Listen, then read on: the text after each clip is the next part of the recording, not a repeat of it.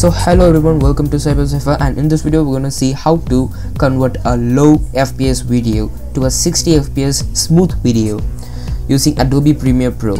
In my case I use this footage, this stock footage which I downloaded from Shutterstock. You can see that this is a 15 FPS video so it is not smooth and we're gonna use Adobe Premiere Pro to make it smooth so first open Adobe Premiere Pro.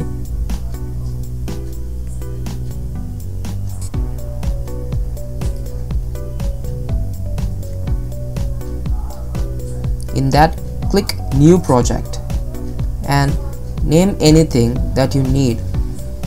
I'll name it as um, 60 FPS video okay? And I I'll change this um, folder the location click OK.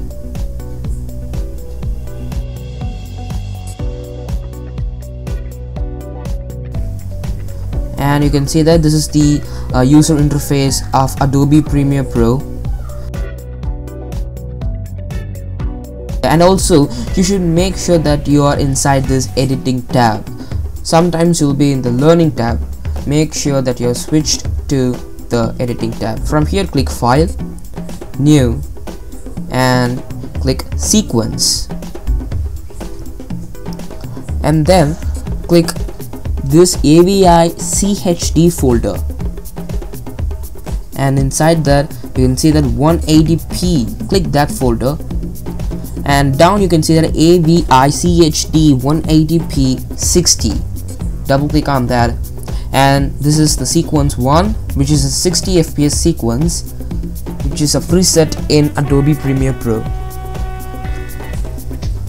And now you need to import the video that uh, I'm gonna import this this stock footage which I'm gonna use to teach you.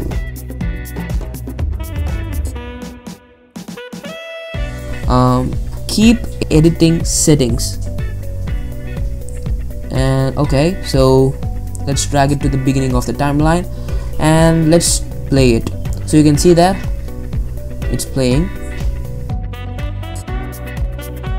From here click the video the top video. And right click in between them the audio and video. And click time interpolation and optical flow. And you can see that it's red so you need to make sure uh, that it is rendered. So from here you need to just uh, hit enter. So it's rendering so let's just wait.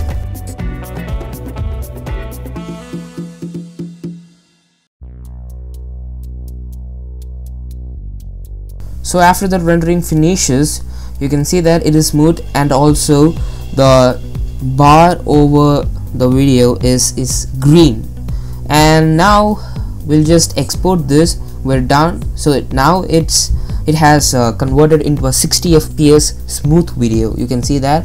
When we scroll it is so much smoother than before.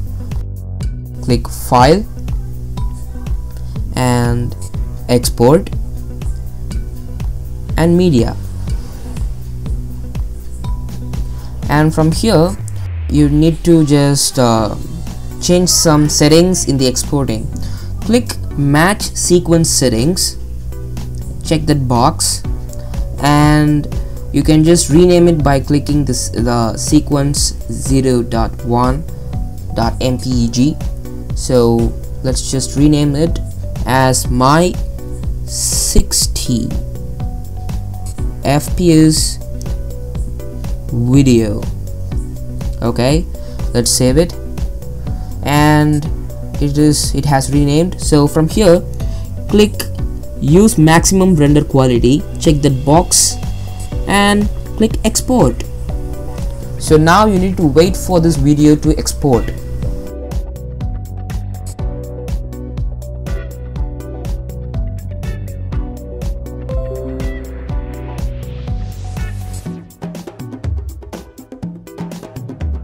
Now let's close Adobe Premiere Pro.